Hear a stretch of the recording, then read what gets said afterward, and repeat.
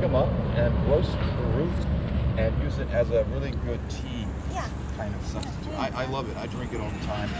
Instead, instead of coffee, there's no caffeine. It has kind of a, a, a coffee richness to it. It's really good.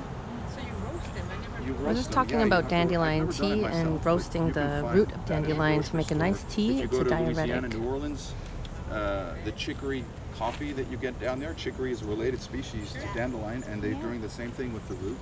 That's how they chicory get that. root. Yeah, chicory root combined with coffee. I've heard of that. Instead of coffee, you can do chicory and dandelion. I've been trying to figure that one out. I'm not Oh, quite sure about that. And, you, and seeing that one around here, yeah.